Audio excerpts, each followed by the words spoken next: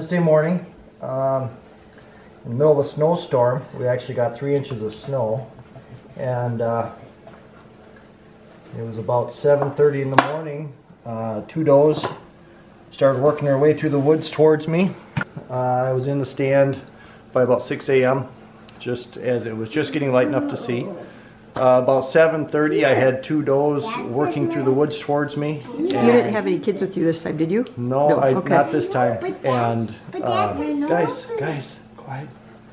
And uh, so they were on track to come right by my stand.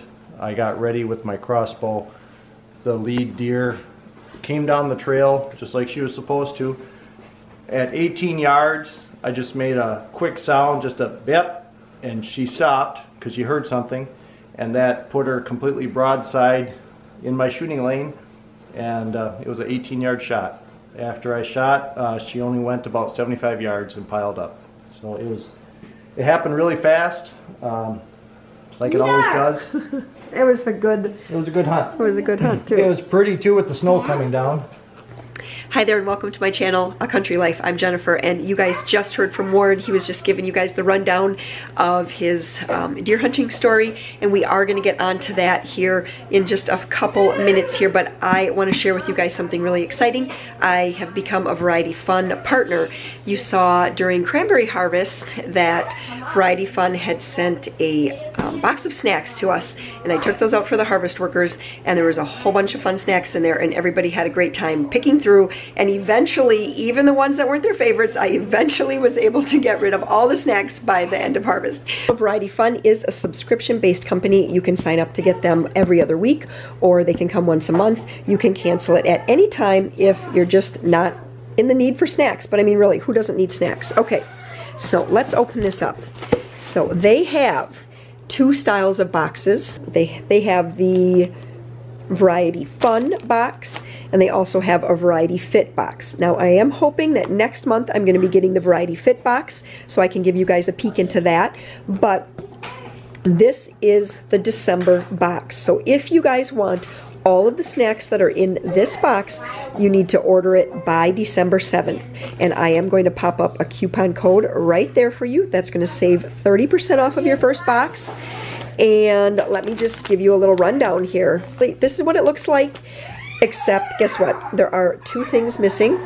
There was a little bag of Oreo cookies, like about this size, and there was another bag of goldfish crackers. So what happened is that I was doing laundry this morning, and then, no, what was I doing? Oh, what actually was happening this morning is that Warren and Peter were out hunting, and Maria and I were watching a vlog. Okay, I think we're watching a cooking vlog, and you know, we're like, boy, it's really quiet. Where did Joe go to?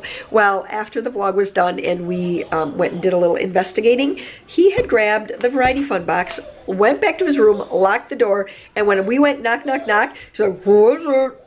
It? And when he finally let us in, there was an empty goldfish bag and an empty mini Oreo bag. So that is already missing from our box. But let's get a look at it over here. So we have here, we have Bada Bean Bada Boom. This is sea salt crunchy broad beans. That's interesting. I've never ever heard of that. Of course, Snyder pretzels. We've heard of that. Honey Teddy Grahams. We have some more pretzels. This is exciting. I don't believe they had these in the last box. Corn nuts.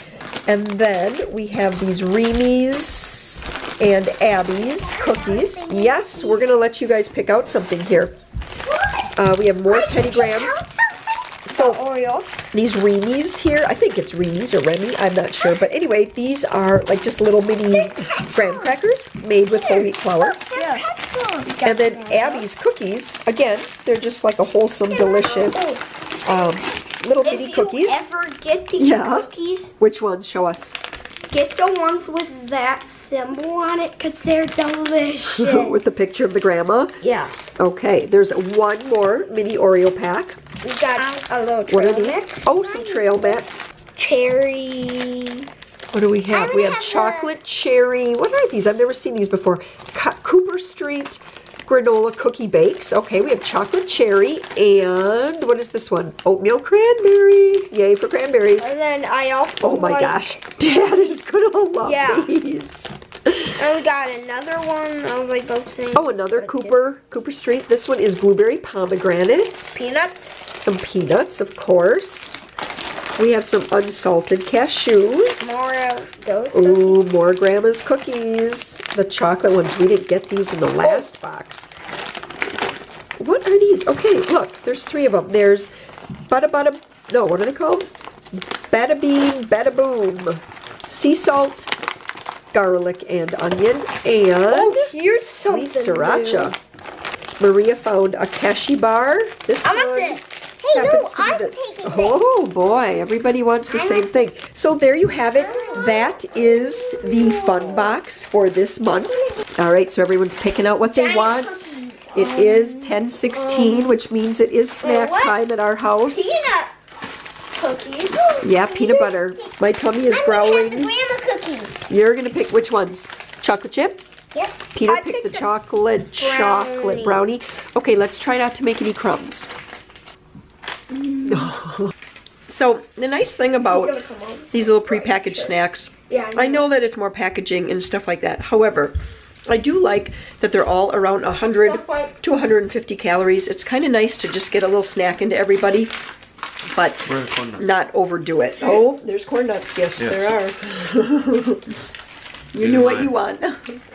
Okay, so I do know that today's video is supposed to be all about us cutting up the deer, how Warren goes about doing that, how I package everything, and kind of how we cut steaks and roasts and all of that good stuff and the tools we use, and it is going to be happening, but but there was a little cranberry marsh work that had to be done, and so uh, we just came off of a number of days of really, really cold weather. We're having a little warm up here this weekend, and then we're going to go right back into some very, very cold weather. Uh, temps, overnight lows of probably very much, very, very close to zero, I think is what I just heard recently, or maybe like five degrees or something like that overnight. But Warren has to put water up in the ditches that surround each individual cranberry bed, and so he there's a system of bulkheads, and so he had to um, do some bulkhead work this morning. He had to go and put uh, boards in and things like that. And I thought he mentioned something about having to cut some new boards. I should have listened more carefully, but I didn't.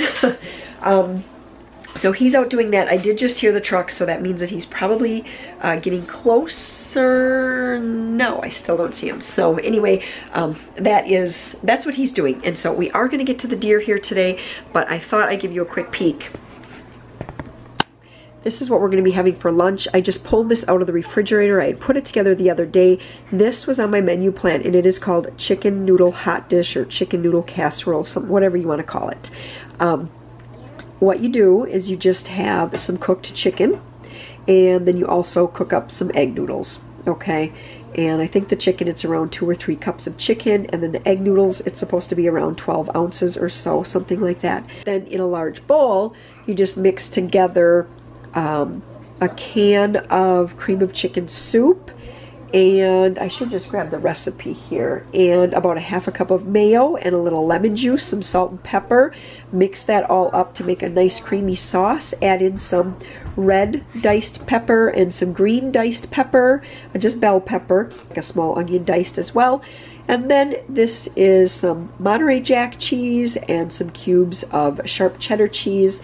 And I mix that all up in there. I'm going to put this into the oven at, I suppose I should get that started, at 350 degrees. It should go for 30 minutes, but since I did make it up the other day, put it in the fridge, you know, it's going to take a little longer because it is ice. Okay, so I took the quarters off. I took the front shoulders off. I took the hind quarters off. Um, I don't cut any bone. I just work it down and pop the the hip joint that was right there to take the quarter off. The front shoulders aren't attached by bone anyway, so they come right off. There is a little bloodshot meat where the arrow went in. All this will get cleaned up. We don't save any of the bloodshot. That all goes out to the carcass pile.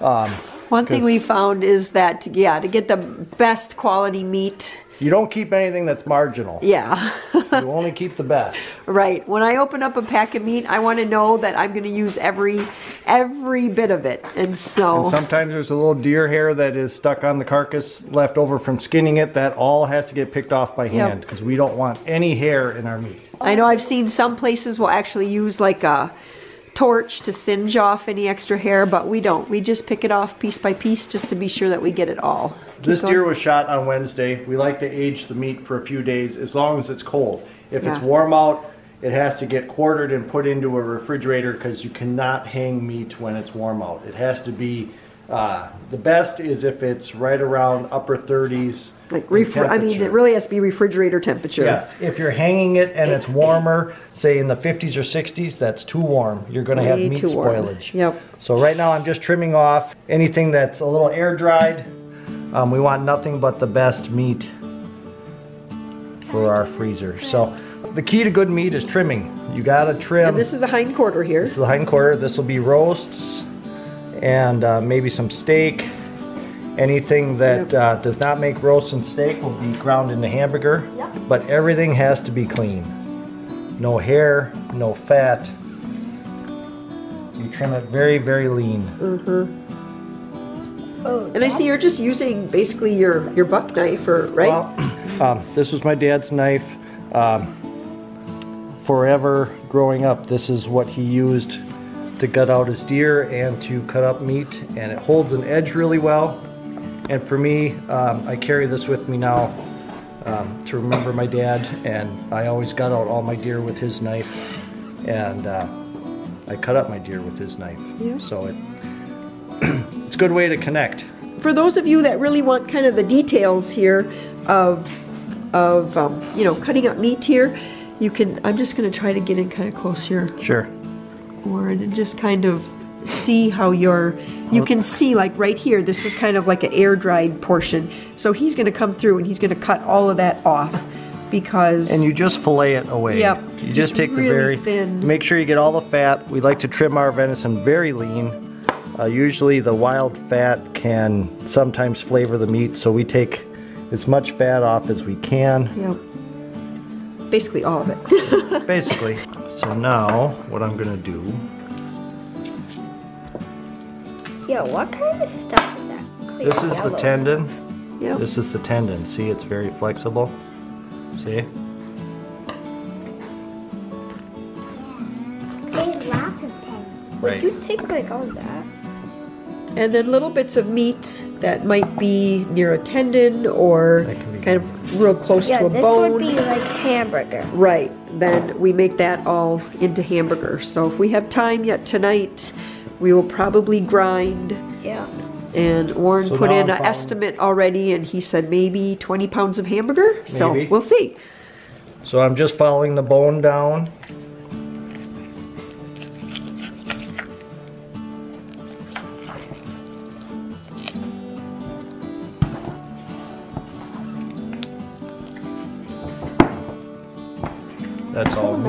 There. That's Sam. The little bit of meat that's left on the bone here, this will be all hamburger.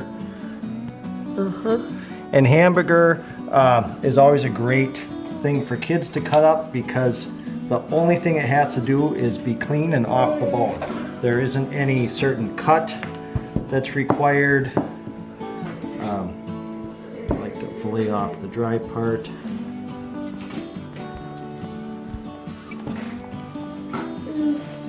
Someone.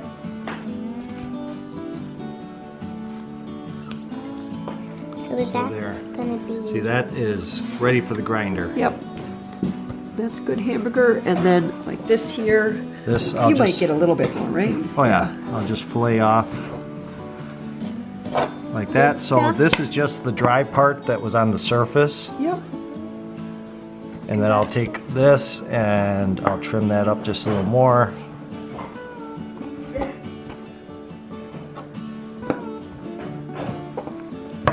That's ready for Hamburger. hamburger. Awesome. So And now this is the hind quarter.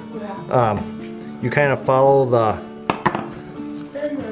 the tissue lines and work this down.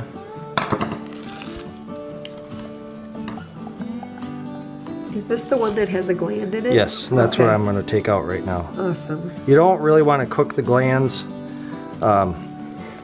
because they can flavor the meat.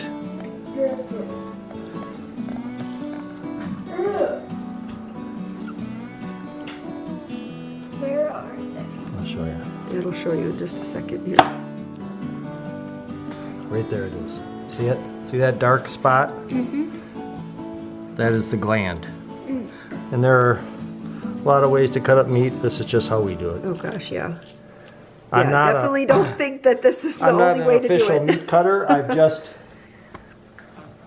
started helping my dad when I was a kid, and when Jennifer and I were married, my dad wasn't going to help cut up, well, he would have helped, but I he wasn't going to cut my deer up anymore. Nope. I was a big boy. I had to cut my own deer. So you kind of learn by doing. Yeah.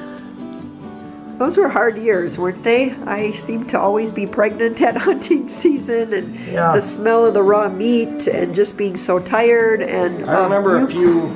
So here's the gland right, Okay, and there it's right yep. there. Whoops. And See it? there's the gland, yep, and that big kind of hunk of fat. So that's gonna go into the scrap box. So now we're just gonna um, separate the hind quarter into the different. Uh, I don't know all the cuts of meat Right. As far as the official terminology, but Joe, shh, shh. we know what we like as far as roasts. Yeah, we're pretty, we are very, very, Now I'll Basic. trim all this off yet, but this right here makes a great roast. yes. I'll trim this dryness from the outside. I'll trim this off. Uh-huh. I can do that right now Mom? to show you. Mom, What, honey? touching it. Peter, I'm please don't touch it. Oh, if he saw. sees a deer hair, he can pull it off. Yep. Fillet knives for filleting fish actually work good too for cutting up deer. They uh, you want something that holds an edge quite well. Yeah, so I was just kind of saying before, we don't label our meat real fancy like. Um, I label it steak, roast. Actually, the steaks, we've gone to doing two kinds of steaks butterfly steak and thick steak is what we call them. So I'll, I'll change it up that way for labeling. Otherwise, roasts is just roast. I don't decipher So decipher there is a out cleaned up roast. rump roast or sirloin or anything like that. And you always have to look it over. There was a little piece of a deer hair. We don't want that. Right. So Joe, Mom. Oh yeah. So then the meat, Warren will just put the meat here into this bowl, or you know all these uh, stainless steel bowls here. I eventually will take these inside, and then I'm always on the packaging committee, so that's what I do. Get the other one up. Weigh up everything, put the labels on it. now this piece of hind quarter makes great steak. We're gonna square it up. We're gonna butterfly these, where you cut like three quarters of the way through, and then all the way through, and there you have a small butterfly steak. Butterfly steak. Wow, Yep.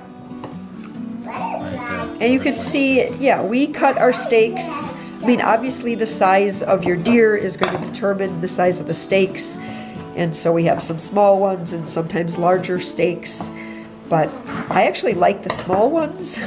I think they cook up nicely. You get a nice kind of edge with a nice, just a good tender And when I get to the end, that just becomes hamburger. So, Mom, is that hamburger or is that hamburger? You tell me which one. Uh. Yes. Steak? Yes. And I want to just point out these this cutting board that we're using. So what did we used to use? Like countertop? We used to use uh, remnant countertop, which Right. worked, but sometimes they didn't uh, hold up quite as well. Right. Over time, you know, you'd get a lot of cut marks in them and then I wasn't sure if they were getting cleaned as well as I wanted them to. So then we went to these cutting boards and these are called like Called a sports- sportsman's board. yeah, sportsman's board or something. And so we pick them up I think at Fleet Farm. Yep. I I know at one point we wanted we were going to order. Did we order one of these through Amazon? We may have. I don't know because we have this one which is big here, and then we have this smaller one here. We have this smaller one here, and so these are really nice because they can just be bleached, and they're just a nice big, just a nice big size. I know some of the recipes that I like to make for an Italian shredded venison. I know that one particularly takes like a four pound roast. So I'll make sure I have a couple of those. I'll make sure I have a couple of smaller roasts if I just want to make something where I'm adding a lot of potatoes and things to it. So yeah, it's just kind of package it how you're going to use it. That's really the most important thing. I want to add too is I do not cut through any bone.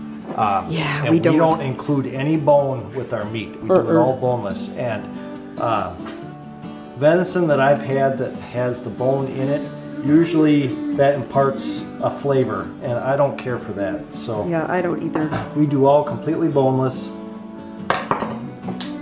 Now, like this part of the hind quarter has a lot of sinew and connective Yep. tissue in it.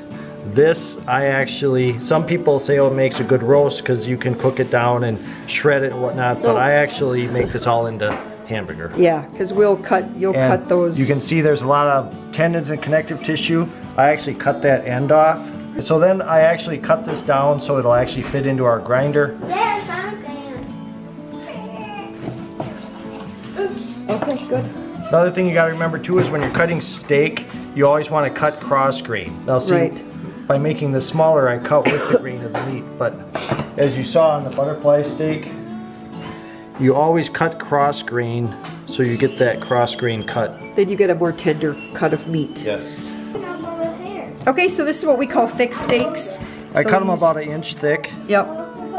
and they're, they're kind of narrow. We get some bigger steaks as we get into other cuts of meat, but Uh-huh. this is the remainder of the hind quarter, and I saw an opportunity to cut some steaks, so I did.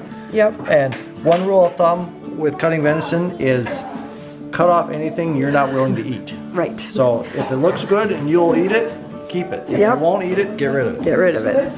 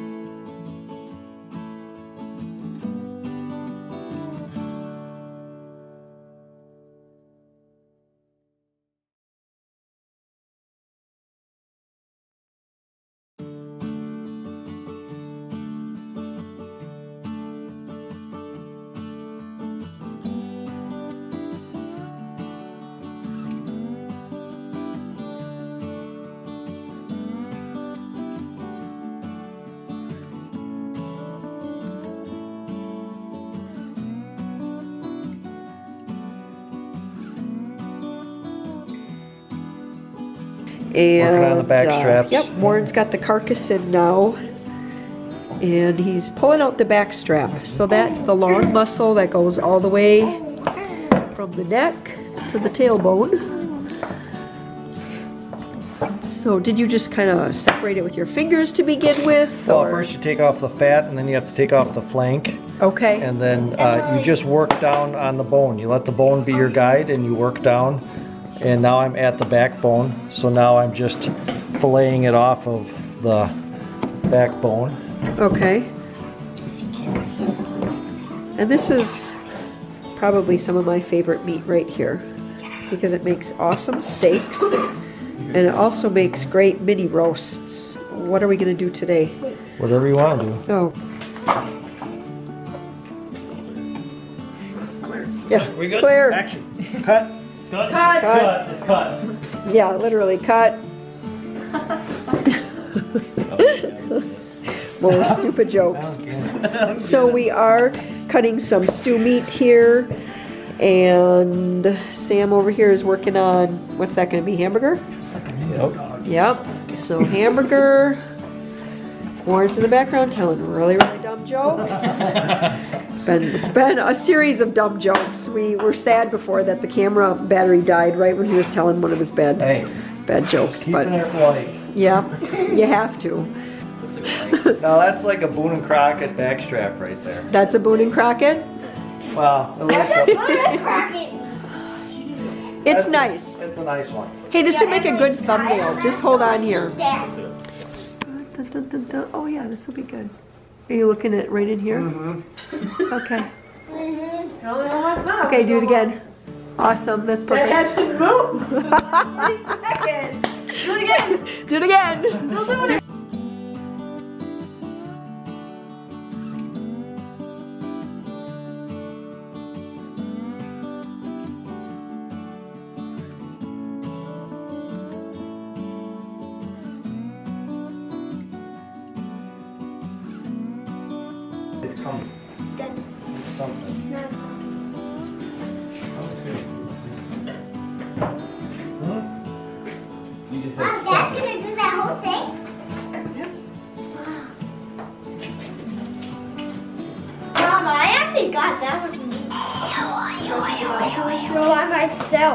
Got some by yourself? This. Nice. With the knife? Yeah, you can use So Warren's just kind of taking the layers off here, off the carcass, because in between the layers of Stop! Um, Stop, smart. fat, there is some more meat. I'm just trimming off anything that has any bloodshot. Uh-huh. So now you have this flank, which makes great hamburger. You could do flank steak, but I don't. It all we don't. All goes to burger. Hamburger. Just got Yep.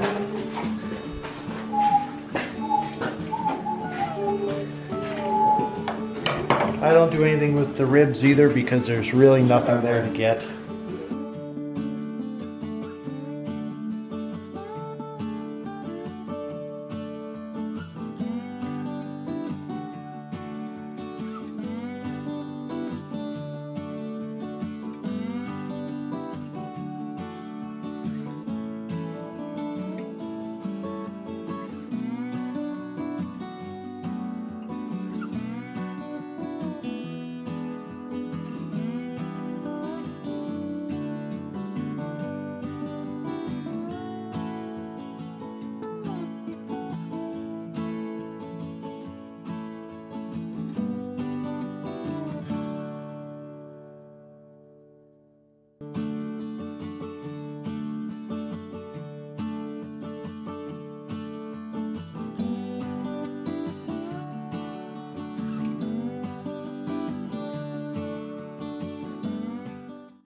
So what happens when we bring the meat inside then?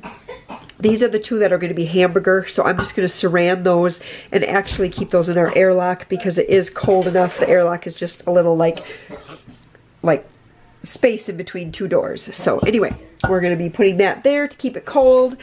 And then I'm just going to go through and start packaging all of this up. I'm just going to set up my system with my bags, my saran wrap, my scale, uh, a marker, my tape, and just get everything all set up so that I can just quickly move through and get this all packaged up. This is also the time where I will do any final picking if there happens to be a hair or if something didn't get trimmed to my uh, specifications. I will do a final trimming at this point.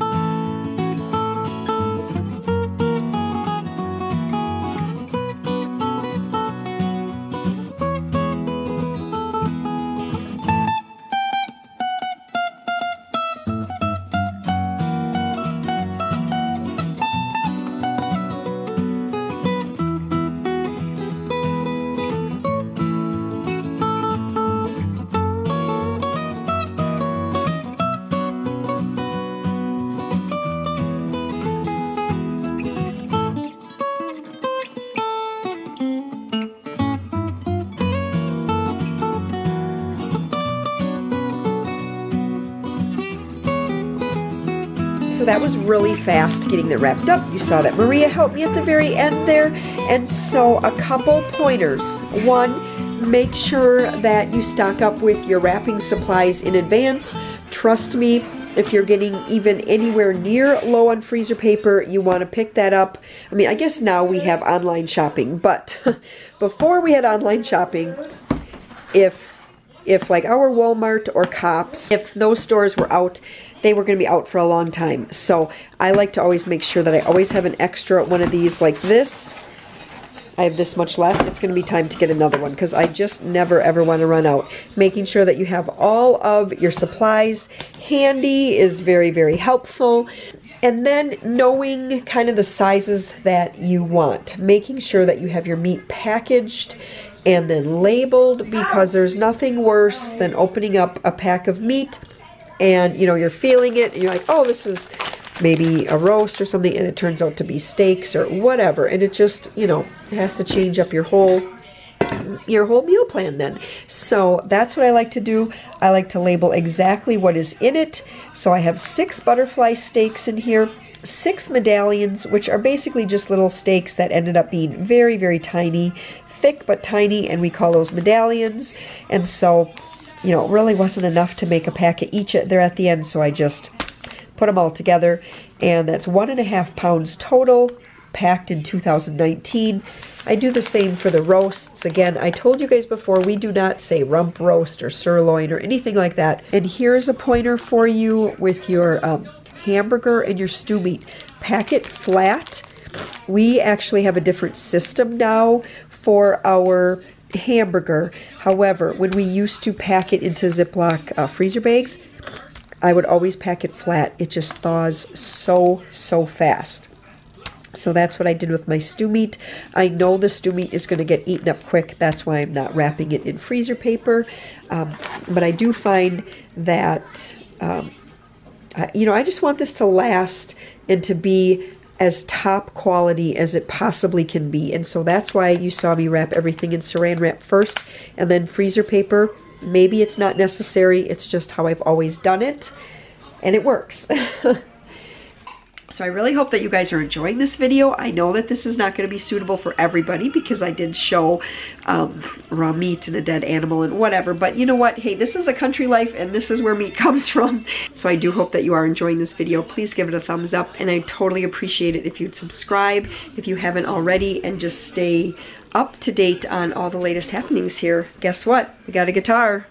No? No on the guitar? well, by the way, I got a new guitar. Yes. It's covered in fingerprints. it is very fingerprinty from this okay, angle. but it's black. I so know. it's really hard. I I cleaned it once, but then I played it, and now it's all fingerprint. You know what you need? One of those microfiber microfiber cloths. Wouldn't that work nice? Yeah. That would keep it really nice. Why are you smiling at me? Because I'm not gonna tell you what I used to clean it off. Yeah, I don't want to know what you used. Okay. But uh. what? What do you want to hear? Whatever. Um. Play us a little Christmas tune, or is it too early for that? I don't know any. You don't know any yet. Yeah, I'm Okay. not playing Christmas tunes until after uh, Thanksgiving. Oh, okay. But you're gonna have to practice them beforehand. Um, let's just.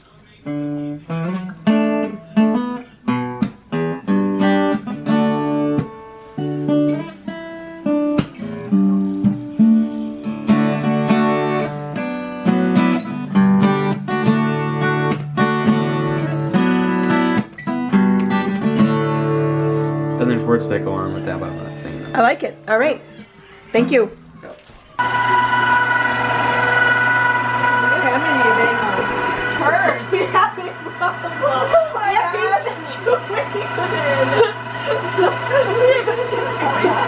That's like nasty, but like poopy. That's what it felt like. That's so funny. Yeah, one time. Joe's in there with his microphone. It's empty. We have another bowl. Okay.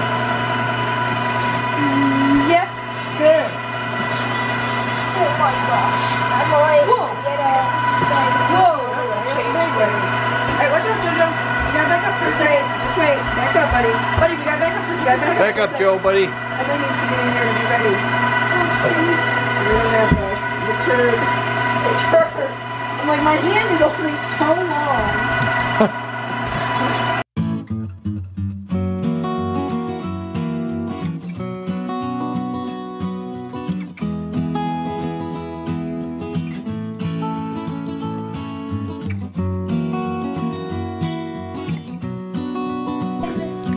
Okay, so you just saw us uh, work up all of the uh, venison into ground venison, and you know, there's a lot of chit chat around here. We got a lot of people, so there's lots of chit chat. But anyway, these say ground beef, and they are.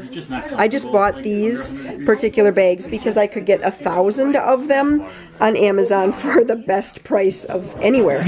So anyway, that's why, because I wanted the two pound bags. So I'm just gonna put these up here. We will weigh these. Emily's gonna write this down. Emily, you can mark this one at two pounds. So can you write 2019 Uh, 30 amp. and then just write two. 30 amp outlet in the base. Very go. Very good.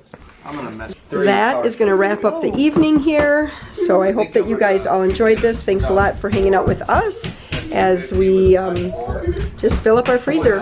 With a bunch of weight reduction. If you guys happen to be hunters, I wish all of you luck and have a fantastic day.